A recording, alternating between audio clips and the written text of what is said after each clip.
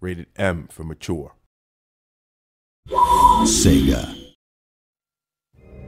Can't let everyone's death be in vain.